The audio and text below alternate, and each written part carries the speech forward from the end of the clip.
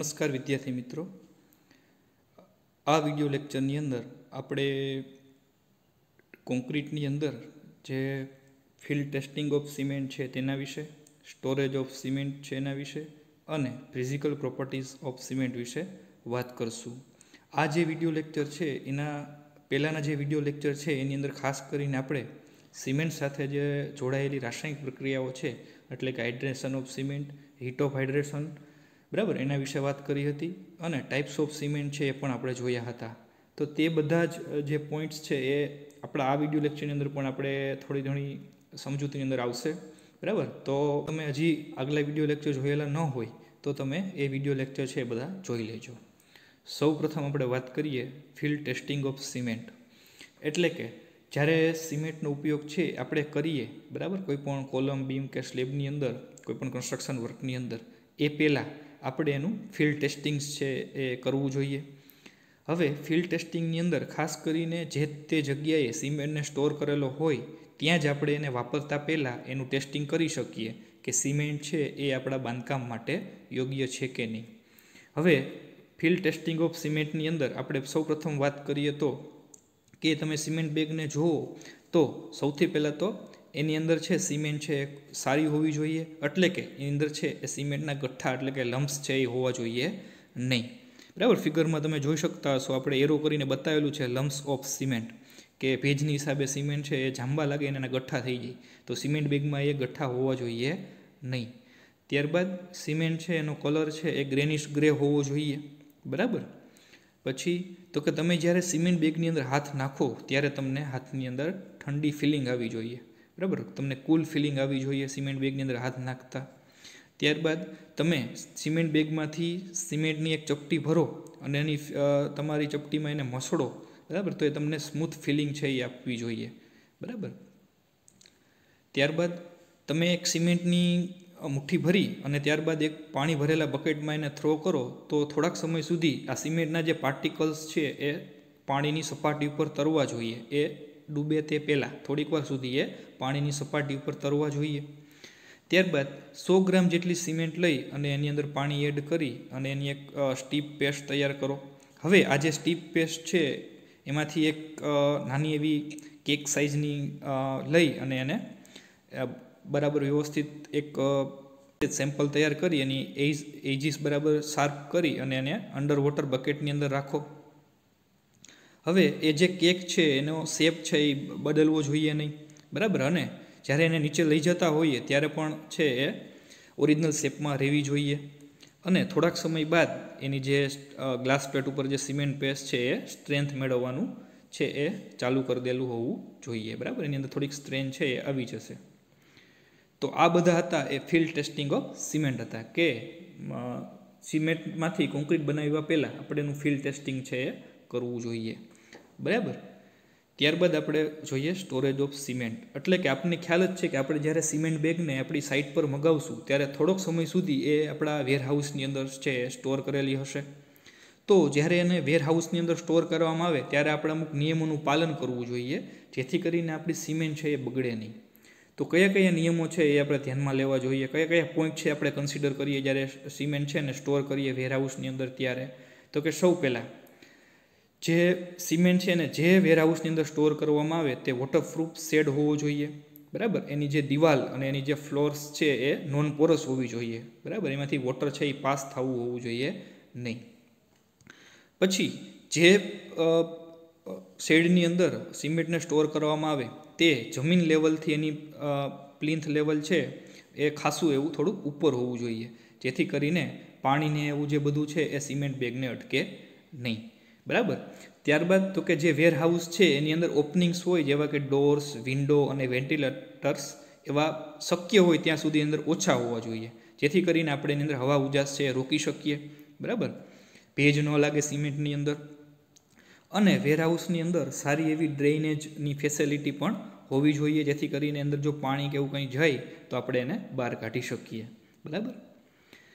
ત્યારબાદ જે cement bag છે એને દિવાલથી ત્રીસ સેન્ટીમીટરની દૂરી ઉપર રાખવું જોઈએ. એટલે કે દિવાલથી ત્રીસ મીટર જેટલી જગ્યા રાખી અને ત્યારબાદ સિમેન્ટ છે એને સ્ટોર કરવી જોઈએ. જેથી કરીને જે દિવાલનો એનો ભેજ છે એ સિમેન્ટ બેગ પર ન લાગે. ત્યારબાદ સિમેન્ટની જે એક જે થપ્પી હોય, બરાબર, એ ચૌદ બેગ્સની હોવી જોઈએ. ચૌદ બેગ્સ કરતાં વધારે હોવી જોઈએ નહીં.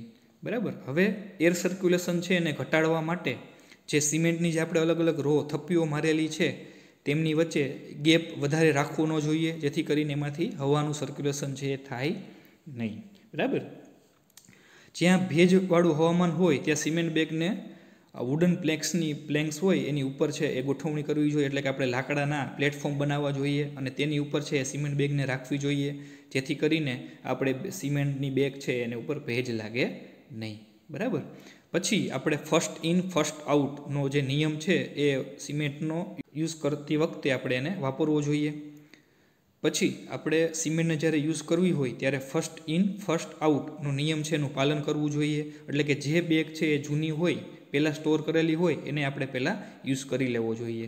અને ખાસ કરીને બીમ અને સ્લેબ જેવા જે મહત્ત્વના જે સ્ટ્રક્ચર મેમ્બર છે એની અંદર છે આપણે તાજી સિમેન્ટ બેગ છે એ વાપરવી જોઈએ, જેથી કરીને આપણે સ્ટ્રેન છે એ સારી મળે. બરાબર? જ્યારે સિમેન્ટ છે એ પ્રોપરલી સ્ટોર થઈ જાય, બરાબર? ત્યારે જ્યાં સુધી એનો વપરાશ ન કરવો હોય, ત્યાં સુધી એને ડિસ્ટર્બ કરવું જોઈએ નહીં, બરાબર? અને એને હવાના સંપર્કમાં આવવા દેવો જોઈએ નહીં, બરાબર? તો આ હતી સ્ટોરેજ ઓફ સિમેન્ટ જેની અંદર આપણે વાત કરી, એટલા મુદ્દા છે એ આપણે ધ્યાનમાં લેવા જોઈએ. ત્યારબાદ આપણે વાત કરીએ physical properties of Portland cement બરાબર? હવે સિમેન્ટ છે એની અંદર એની ગુણવત્તા કેવી છે, બરાબર? અને એની કોમ્પ્રેસિવ સ્ટ્રેન્થ આપણને મજબૂતાઈ કેવી મળશે, એ બધું છે એ ફિઝિકલ પ્રોપર્ટીની અંદર આવશે. ખાસ કરીને સિમેન્ટને પાંચ ફિઝિકલ પ્રોપર્ટીઝ છે એ આપણે ધ્યાનમાં લઈએ છીએ. મિત્રો, આ પાંચ ફિઝિકલ પ્રોપર્ટીઝ છે એ સિમેન્ટની અંદર ખૂબ જ મહત્ત્વની છે. જો આ પાંચે પાંચ ગુણધર્મ છે એ સિમેન્ટની અંદર હોય, સારી હોય, બરાબર? તો આપણે એ સિમેન્ટનો ઉપયોગ કરીને જો કોન્ક્રીટ બનાવશું અથવા મોટર બનાવશું, તો એ સારો બનશે, બરાબર? તો બીજા શબ્દોમાં કહીએ તો આ સિમેન્ટ માટેના પાંચ ટેસ્ટ છે કે જે લેબોરેટરી અંદર પરફોર્મ કરવામાં આવે. તમે બિલ્ડિંગ મટીરિયલની અંદર, મને ખ્યાલ છે ત્યાં સુધી તમે આ બધા ટેસ્ટ છે, ફિઝિકલ પ્રોપર્ટીઝ છે એ પરફોર્મ કરેલી જ હશે, બરાબર? તો કઈ કઈ પાંચ ફિઝિકલ પ્રોપર્ટીઝ છે? તો કે fineness standard consistency, initial and final setting time, compressive strength અને સાઉન્ડનેસ. બરાબર? તો આ વીડિયો લેક્ચરની અંદર ખાસ કરીને આપણે આજે આજે ફિઝિકલ પ્રોપર્ટીઝ ઓફ સિમેન્ટ છે, એટલે કે fineness, standard consistency, initial and final setting time, compressive strength અને સાઉન્ડનેસ. એ કઈ રીતે અગત્યની છે સિમેન્ટની અંદર, એ શું મહત્ત્વ ધરાવે છે અને એનું ટેસ્ટિંગ કઈ રીતે થાય, એના વિશે આપણે વાત કરશું. સૌ પ્રથમ આપણે જોઈએ ફાઇનનેસ ટેસ્ટ. તો ફાઇનનેસ ટેસ્ટ છે સિમેન્ટની, એની દ્વારા આપણને સિમેન્ટનો ફાઇનનેસ કેવી છે, એની માહિતી છે, એ મળે છે. બરાબર? ફાઇનનેસ ઓફ સિમેન્ટ છે એ સિમેન્ટના જે પાર્ટિકલ સાઇઝ છે એનું મેઝરમેન્ટ છે. બરાબર? અને એને specific surface area of cement દ્વારા એને એક્સપ્રેસ કરવામાં આવે છે. એટલે કે ફાઇનનેસ કેટલી છે સિમેન્ટની, એ આપણને કેના દ્વારા ખબર પડશે? તો કે સિમેન્ટના સ્પેસિફિક સરફેસ એરિયા છે જેટલો એના દ્વારા આપણને ખબર પડશે. બરાબર? હવે આ ફાઇનનેસ ટેસ્ટ છે એ શું કામે મહત્ત્વનો છે સિમેન્ટની અંદર? બીજા શબ્દોમાં કહીએ તો સિમેન્ટની ફાઇનનેસ છે એ ક્યાં મહત્ત્વનો ભાગ ભજવશે? તો કે આપણને ખ્યાલ જ છે કે સિમેન્ટની જે હાઇડ્રેશન પ્રોસેસ છે, એની અંદર આજે સિમેન્ટના પાર્ટિકલની જે સરફેસ એરિયા છે એ ખૂબ જ મહત્ત્વનો ભાગ ભજવશે. બરાબર? જે ટોટલ સરફેસ એરિયા છે સિમેન્ટનો એ હાઇડ્રેશન માટે અવેલેબલ મટીરિયલ્સ છે એ રિપ્રેઝન્ટ કરે છે. એટલે કે જેટલો સરફેસ એરિયા વધારે હશે, એટલો હીટ ઓફ હાઇડ્રેશન છે એ સારું થશે, વધારે થશે. બરાબર? જો જે સિમેન્ટનું જેટલું વજન હોય, બરાબર? તે સરફેસ એરિયા છે એ જેટલું વધારે હશે, એટલી સિમેન્ટ છે એ ફાઇનર હશે બીજા શબ્દોમાં કહીએ તો. બરાબર? કોર્સ સિમેન્ટ કરતાં ફાઇન સિમેન્ટ છે એનો સરફેસ એરિયા છે એ વધારે હશે. બરાબર? તો આવા સંજોગોમાં જે ફાઇનર સિમેન્ટ હશે, જે સિમેન્ટના પાર્ટિકલ્સ ફાઇનર હશે તેની અંદર હીટ ઓફ હાઇડ્રેશનનો જે રેટ હશે એ વધારે હશે. કારણ કે એની અંદર સરફેસ એરિયા છે એ કેમિકલ રિએક્શન માટે વધારે અવેલેબલ છે. આપણે જ્યારે નાના હતા ત્યારે આપણે આવતું કે કોલસા કરતાં કોલસાના ટુકડા છે વધારે ઝડપથી સળગે. કારણ કે એનો સરફેસ એરિયા છે એ વધારે હોય. એ જ રીતે સિમેન્ટ જેટલી વધારે ફાઇન હશે, બરાબર? જેટલી વધારે ફાઇન હશે, એટલું એનો હીટ હાઇડ્રેશનનો દર વધારે હશે. કારણ કે વધારે સિમેન્ટની જે એરિયા છે એ પાણીના સંપર્કમાં આવશે. બરાબર? એટલું એનો હીટ રેટ છે, વધારે મળશે. બરાબર? હવે, જેથી કરીને જેટલું હિટોપાઇટ્રેશનનો રેટ છે એ વધશે, એટલી સ્ટ્રેન છે એ ઝડપથી ડેવલપ થશે. બરાબર?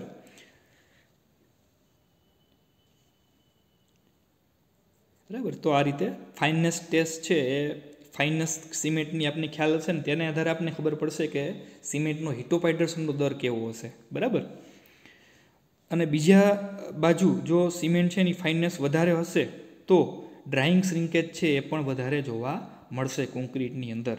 બરાબર? તો હવે આપણે વાત કરીએ ટેસ્ટની અંદર. તો મેક્સિમમ નંબર ઓફ આપને ખ્યાલ છે કે પાર્ટિકલ્સ છે સિમેન્ટ સેમ્પલની અંદર, એની સાઇઝ કેટલી હશે? તો કે લેસ ધેન હંડ્રેડ માઇક્રોન સિમેન્ટની અંદર નાનામાં નાનું જે પાર્ટિકલ્સ હોય, એની સાઇઝ કેટલી હોય? તો કે પંદર માઇક્રોન જેટલી. બરાબર? અને એવરેજ સાઇઝ હશે સિમેન્ટ પાર્ટિકલ્સની એ આપણે લેશું પંદરથી વીસ માઇક્રોન જેટલી. હાઇડ્રેશન ઓફ સિમેન્ટની અંદર આપણે આ વસ્તુ છે આવી ગઈ હશે. બરાબર? આવી ગઈ છે. હવે પાર્ટિકલ સાઇઝ ત્રણથી પચીસ માઇક્રોન જેટલું હોય, એની ખાસ કરીને અઠ્યાવીસ દિવસની જે સ્ટ્રેન્થ છે, એના ઉપર છે એ અફેક્ટ કરે છે. બરાબર? અઠ્યાવીસ દિવસની સ્ટ્રેન્થની અંદર ત્રણથી પચીસ માઇક્રોનના જે સાઇઝના પાર્ટિકલ્સ છે સિમેન્ટના એ વધારે અસર કરતા હોય છે. હવે સિમેન્ટની ફાઇનનેસ છે એ જાણવાના બે રસ્તા છે. એક તો સીવ ટેસ્ટ અને બીજું છે એ અર એર પરમિબિલિટી ટેસ્ટ. બરાબર? આપણે, આપણા સિલેબસમાં છે સીવ ટેસ્ટ. તો એના વિશે વાત કરશું. તો સીવ ટેસ્ટની અંદર કઈ રીતે પરફોર્મ કરવામાં આવે? તો કે સૌ પ્રથમ તો તમે ફિગરમાં જોતા હશો કે એની અંદર સીવ એટલે કે ચારણી વપરાય છે. બરાબર? તો એ ફિગરમાં બતાવેલી છે. તો સૌ પ્રથમ તો આપણે સો ગ્રામ જેટલી સિમેન્ટ છે લેશું. ત્યારબાદ એને આઈએસ સીવ નંબર નવ એટલે કે નેવું માઇક્રોનની સીવમાંથી ચારશું એને. બરાબર? જો એની અંદર કાંઈ લમ્સ કે એવું હશે સિમેન્ટની અંદર, તો એ આપણે આંગળી દ્વારા એને મસળી નાખશું. બરાબર? ત્યારબાદ આ જે સીવ સેમ્પલ છે એને આપણે સર્ક્યુલર મોશન કરાવશું વર્ટિકલ મોશન કરાવશું. બરાબર? જેથી કરીને જે સીવ છે એનું બરાબર, એની અંદર સિમેન્ટ છે એનું છે, ચોરાઈ જાય. બરાબર? પંદર મિનિટ સુધી આપણે એને ચારી શકીએ. મિકનિકલ સીવ સેકર છે, જે આપણી લેબોરેટરીમાં પણ છે, એનો પણ આપણે યુઝ કરી શકીએ. બરાબર? હવે ચારણ બાદ જે સિમેન્ટની છે એ રેસિડ્યુલ લેફ્ટ રહેશે સી ઉપર. એટલે કે આવી રીતે ચારતા જે આપણે ચારણીમાં બાકી રહેશે, બરાબર? એનું આપણે વજન કરશું. એનું વજન છે એ દસ ટકા કરતાં વધવું જોઈએ નહીં.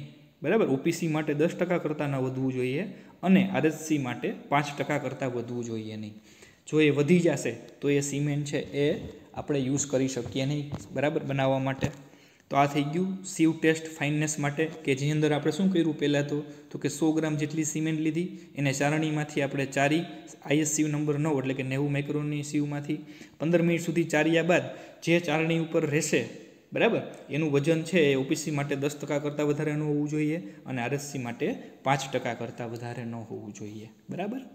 હવે આપણે વાત કરીએ સ્ટાન્ડર્ડ કન્સિસ્ટન્સી ટેસ્ટ તો એ ચાલુ કરતાં પહેલાં આપણે એ જોઈએ કે કન્સિસ્ટન્સી કેને કહેવાય? તો કે કન્સિસ્ટન્સી સિમેન્ટ પેસ્ટને ડિફાઇન જો આપણે કરવી હોય તો તો કે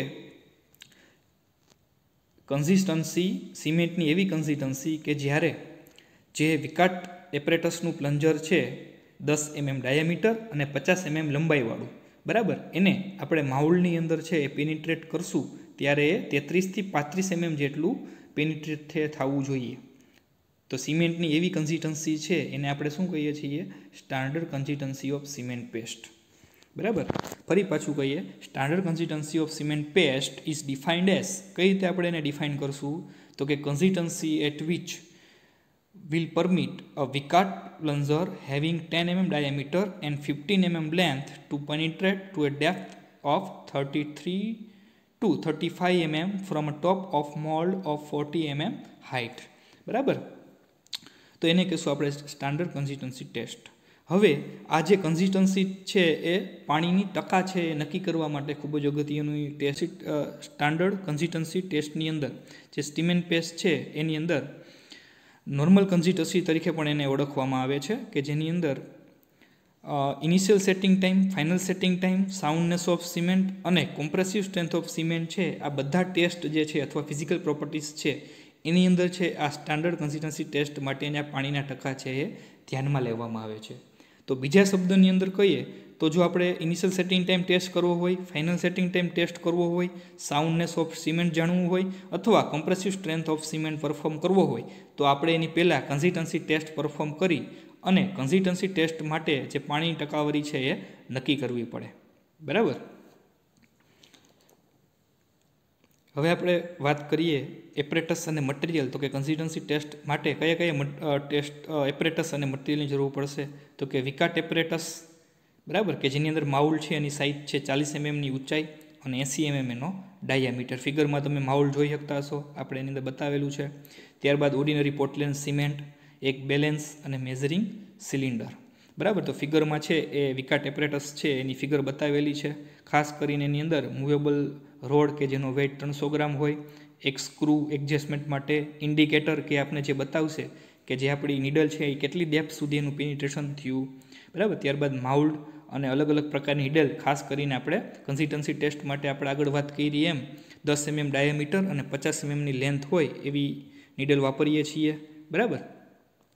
હવે આપણે જોઈએ એની પ્રોસિજર કઈ રીતે કરવામાં આવે સ્ટાન્ડર્ડ કન્સિસ્ટન્સી ટેસ્ટ તો કે એના માટે સૌ પહેલાં તો પાંચસો ગ્રામ જેટલું સિમેન્ટ લેવામાં આવે. ત્યારબાદ એની અંદર પચીસ ટકા પાણી છે વેઇટના સિમેન્ટના વેઇટના પચીસ ટકા જેટલું પાણી છે એમાં એડ કરવામાં આવે, બરાબર? અને એની પેસ્ટ છે એ તૈયાર કરવામાં આવે. ત્યારબાદ એ પેસ્ટ છે એને વિકાલ્ટ વિકાટ માઉડની અંદર ભરી દેવામાં આવે, બરાબર? ત્રણથી પાંચ મિનિટની અંદર આ પેસ્ટ છે એ વિકાટ માઉલ્ડ છે એની અંદર ભરાઈ જવું જોઈએ, બરાબર? હવે જો માઉલ્ડને છે એનું બરાબર શેક કરવું જોઈએ, જેથી કરીને એની એર છે એ રિલીઝ થઈ જાય એર બહાર નીકળી જાય અને માઉલ્ડના ટોપ સુધી બરાબર છે એ પેસ્ટની અંદર ભરવી જોઈએ. બરાબર? ત્યારબાદ જે આપણું સ્ટાન્ડર્ડ પ્લન્જર છે એ, કે જેનું દસ એમએમ ડાયામીટર છે અને પચાસ એમએમ લેન્થ છે, તમે ફિગરમાં જે જુઓ છો પેલો પ્લન્જર જે સૌથી મોટો છે એ કન્સિસ્ટન્સી ટેસ્ટ માટે વપરાય છે, એ લઈ અને એને વિકાટ એપરેટસની અંદર અટેચ કરી અને એને સિમેન્ટ સરફેસ જે છે પેસ્ટની જે સરફેસ છે, એને અટકીને રહે તે રીતે ગોઠવવામાં આવે અને પછી એને ત્યાંથી ક્વિકલી રિલીઝ કરી દેવામાં આવે. બરાબર? અને એને પેસ્ટની અંદર નીચે સિંક થાય એ રીતે કરવામાં આવે ગોઠવણી. એના હવે આપણે છે એ, એનું રીડિંગ લઈ લેશું. બરાબર? કે કેટલી ડેપ્થ સુધી આ જે પ્લન્જર છે એનું પ્રિન્ટેશન થયું.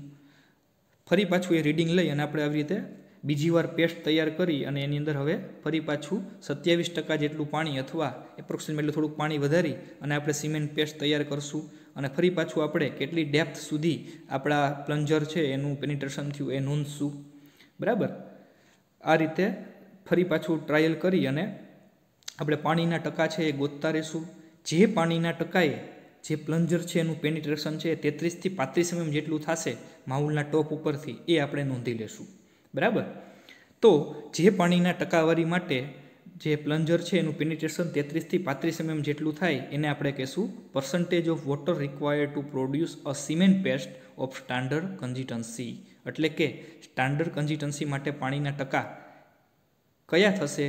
તો કે જે પાણીના ટકા માટે જે પ્લન્જર છે એનું પેનિટ્રેશન તેત્રીસથી પાંત્રીસ એમએમ જેટલું થાય, એ પાણીના ટકા. બરાબર? એટલે થઈ ગયા સ્ટાન્ડર્ડ કન્સિસ્ટન્સી બરાબર? જેને આપણે પી તરીકે ઓળખીએ છીએ. તો આ વાત થઈ સ્ટાન્ડર્ડ કન્સિસ્ટન્સી ટેસ્ટની હવે આ ટેસ્ટ દ્વારા આપણને ખબર પડશે કે આપણે initial setting time final setting time અને સાઉન્ડનેસ અને કમ્પ્રેસિવ સ્ટ્રેન્થ માટે કેટલું પાણી છે એ પેસ્ટ બનાવવા માટે એડ કરવું. તો આપણે પહેલાં આ બધા ટેસ્ટ કર્યા પહેલાં એટલે જ કન્સિસ્ટન્સી ટેસ્ટ છે એ પરફોર્મ કરવામાં આવે કે જેની અંદર પાણીના ટકા છે એડ કરી અને જ્યાં સુધી સિમેન્ટ પેસ્ટની અંદર પ્લન્જરનું પેનિટ્રેશન છે એ તેત્રીસથી પાંત્રીસ એમ જેટલું ન થાય, ત્યાં સુધી આ ટેસ્ટ ચાલુ રાખવામાં આવે. જ્યારે તેત્રીસથી પાંત્રીસ એમ જેટલું પ્લન્જરનું પેનિટ્રેશન થાય, એ પાણીના ટકા નોંધી લેવામાં આવે. એ થઈ ગયા સ્ટાન્ડર્ડ કન્સિસ્ટન્સી માટે પાણીની ટકાવારી. બરાબર? હવે આપણે વાત કરીએ બીજા ટેસ્ટની, એટલે કે initial and final setting time test. હવે આ ટેસ્ટ છે એ શું કામે મહત્ત્વનો છે? તો કે આપણે જાણીએ છીએ કે આપણે જ્યારે કોન્ક્રીટ તૈયાર કરીએ, ત્યારે અમુક સમય સુધી તે કોન્ક્રીટ છે ફ્રેશ કોન્ક્રીટ હોય, એટલે કે અંદર પ્લાસ્ટિસિટી હોય, એ સમય દરમિયાન આપણે જે કોન્ક્રીટના અલગ અલગ ઓપરેશન છે, એટલે કે કોન્ક્રીટનું મિક્સિંગ પછી એનું ટ્રાન્સપોર્ટેશન એનું પ્લેસિંગ કોમ્પેક્શન ફિનિશિંગ આપણે કરી લેવું પડે. જો આપણે ઓપરેશન ન કરીએ તો સિમેન્ટ છે કોન્ક્રીટ છે જામવા લાગે, તો આપણે એને બરાબર યુઝ કરી શકીએ નહીં. તો આવા સંજોગોમાં આ જગ્યાએ ઇનિશિયલ અને ફાઇનલ સેટિંગ ટાઈમ ટેસ્ટ છે એ ખૂબ જ અગત્યના છે. તો બરાબર? ઇનિશિયલ સેટિંગ ટાઈમ કેને કહેવાય પહેલાં તો? તો કે જ્યારે આપણે સિમેન્ટની અંદર પાણી છે એડ કરીએ, બરાબર? તે સમય માંડી અને સિમેન્ટ પેસ્ટ છે એની પ્લાસ્ટિસિટી ગુમાવી દે બરાબર?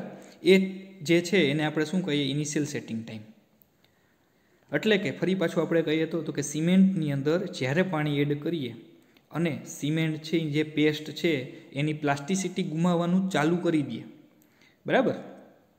એ જે ટાઈમ છે એને આપણે કહીએ છીએ initial setting time OPC cement માટે ઇનિશિયલ સેટિંગ ટાઈમ છે એ ત્રીસ મિનિટ કરતાં ઓછો હોવો જોઈએ નહીં. બરાબર?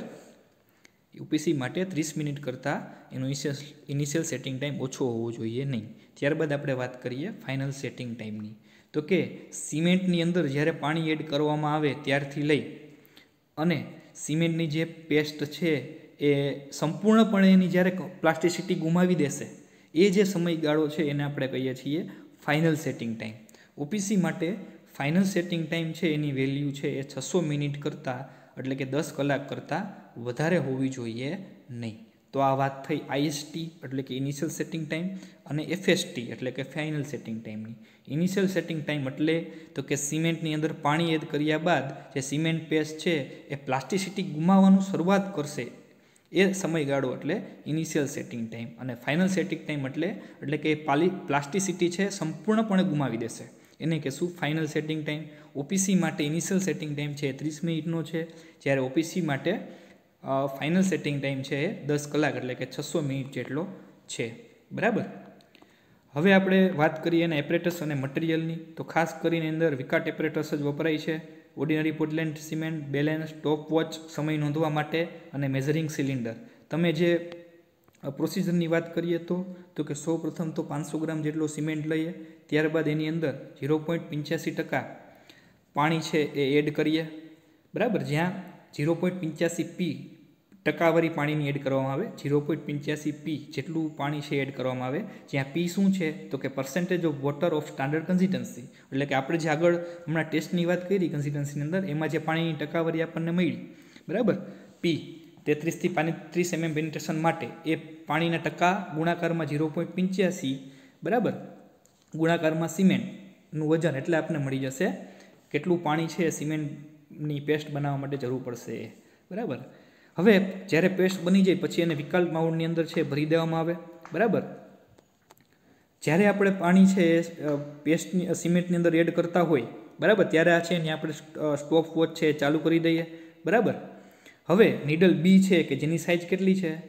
વન એમએમ સ્ક્વેર જેટલો ક્રોસ સેક્શન એરિયા અને પચાસ એમએમ જેટલી લાંબી છે એવી નીડલ બી જેને આપણે અટેચ કરીએ. બરાબર? તમે ફિગરની અંદર તમને બતાવું તો આ જે ત્રીજી નીડલ છે નીચે બરાબર? પાતળી સોય જેવી. એ છે નીડલ બરાબર? જે આપણે ઇનિશિયલ સેટિંગ ટાઈમ માટે વાપરીએ, જેની સાઇઝ છે એક એમએમ સ્ક્વેર અને ક્રોસ સેક્શન એરિયા એનો પચાસ સોરી ક્રોસ સેક્શન એરિયા છે એનો એક એમએમ સ્ક્વેર જેટલોની લંબાઈ છે પચાસ એમએમ જેટલી. એને આપણે હવે પિકાર્ડ એપરેટસની અંદર જોઈન્ટ કરી અને સિમેન્ટ પેસ્ટને ટચ થાય એ રીતે ગોઠવશું અને ઝડપથી એને રિલીઝ કરી દેશું અને સિમેન્ટ પેસ્ટની અંદર એને પોતાના વજન રીતે સિંક થાય એ રીતે એને રિલીઝ કરી દેશું. બરાબર? શરૂઆતની અંદર જે નીડલ છે કમ્પ્લીટલી છે એ સિમેન્ટ પેસ્ટની અંદર છે, એ અંદર સિંક થઈ જશે. પરંતુ જેમ જેમ સમય જશે, તેમ પેસ્ટ છે એ એની પ્લાસ્ટિસિટી ગુમાવશે, એટલે કે જાંબા લાગશે. અને નીડલ છે એ ખાલી તેત્રીસથી પાંત્રીસ એમએમ ડેપ સુધી જ એનું પેન્ટ્રેશન થશે. બરાબર? હવે આ જે સમયગાળો છે, જ્યારે આપણે સિમેન્ટ પેસ્ટની અંદર એડ સોરી આ જે સમયગાળો છે કે જે સિમેન્ટની અંદર આપણે પાણી એડ કર્યું અને સિમેન્ટ નીડલ છે, એનું પેન્ટ્રેશન ખાલી તેત્રીસથી પાંત્રીસ એમએમ જેટલું જ થાય. એ જે સમયગાળો છે, એને આપણે શું કહી દઈશું ઇનિશિયલ સેટિંગ ટાઈમ બરાબર? તો આ વાત તો ઇનિશિયલ સેટિંગ ટાઈમ હવે ફાઇનલ સેટિંગ ટાઈમની વાત કરીએ. તો ફાઇનલ સેટિંગ ટાઈમની અંદર પહેલાં તો આપણે નીડલ છે ચેન્જ કરી નાખશું. એની જગ્યાએ બી કે જે તમે ફિગરની અંદર જોઈ શકશો, જે વચલી જે છે, એ છે નીડલ બી બરાબર?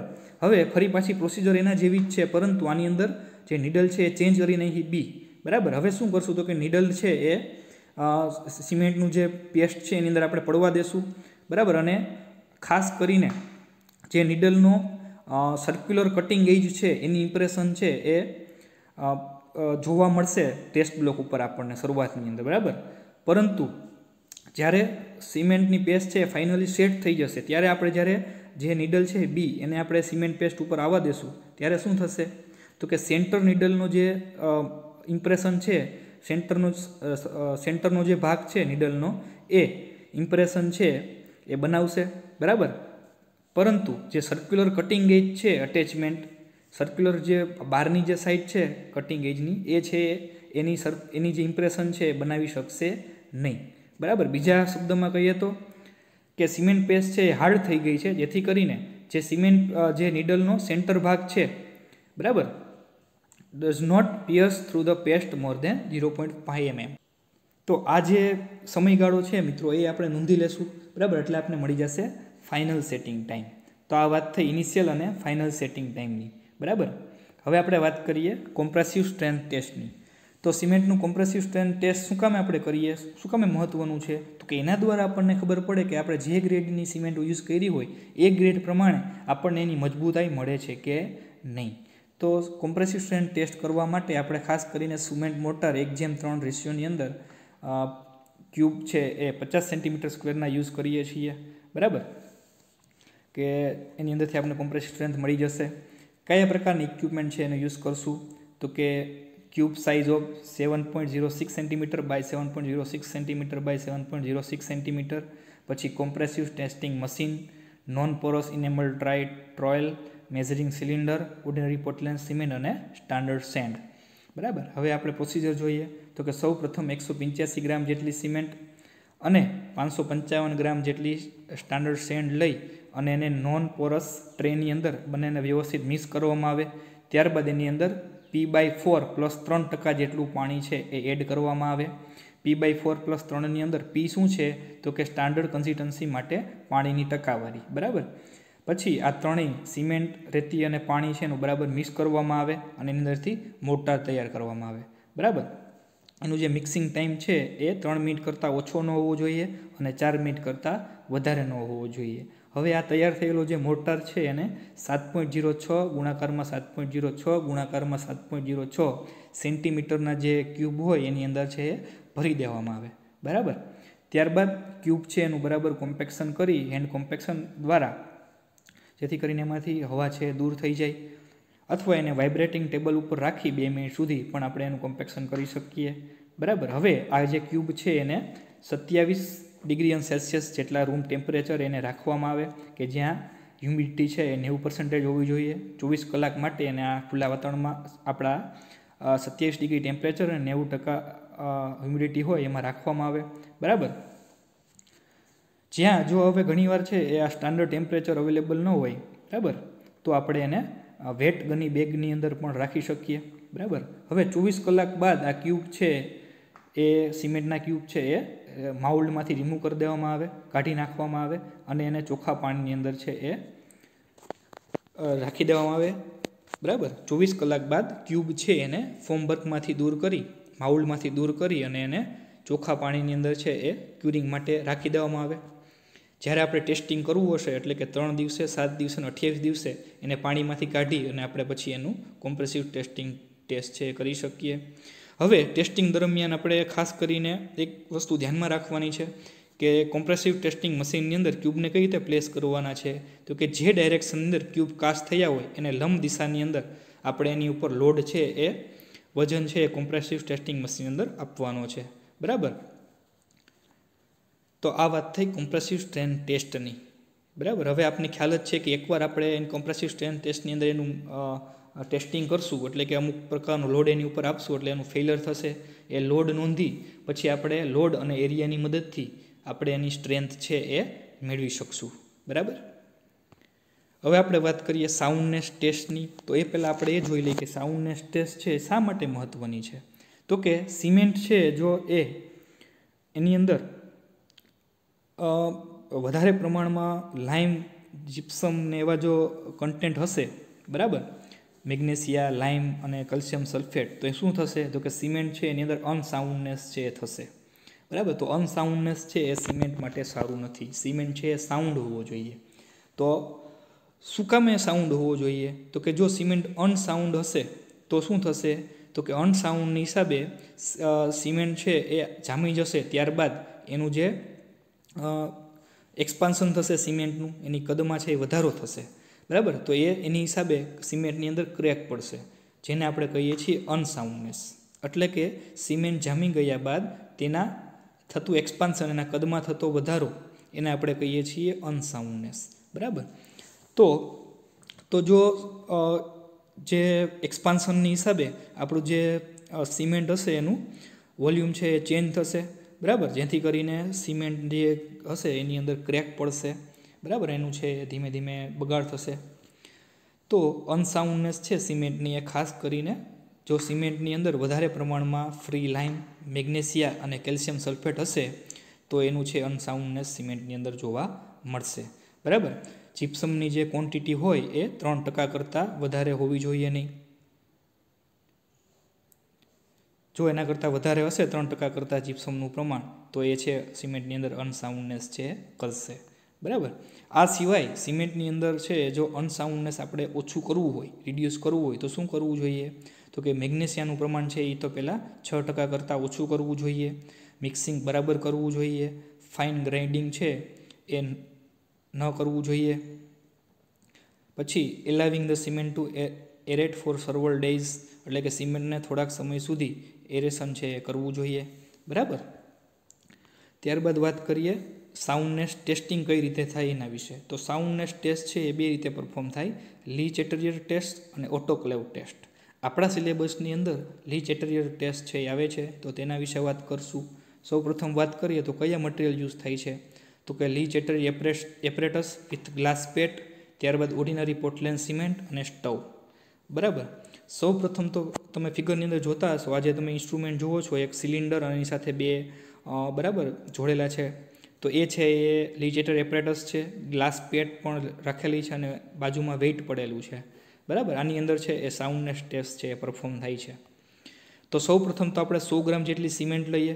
એની અંદર ઝીરો પોઈન્ટ પંચોતેર પી ટકા જેટલું પાણી છે એ એડ કરીએ. ઝીરો પોઈન્ટ પંચોતેર પીની અંદર પી શું છે? તો કે કન્સિસ્ટન્સી માટે પાણીની ટકાવારી. આ રીતે સિમેન્ટની અંદર પાણી એડ કરી અને સિમેન્ટની પેસ્ટ તૈયાર કરીએ. ત્યારબાદ આ સિમેન્ટની જે પેસ્ટ છે એને જે સિલિન્ડર છે, તમે ફિગરની અંદર સિલિન્ડર જુઓ છો, એની અંદર છે એ ભરવામાં આવે અને ઉપર ગ્લાસ પ્લેટ છે એ રાખી દેવામાં આવે. બરાબર?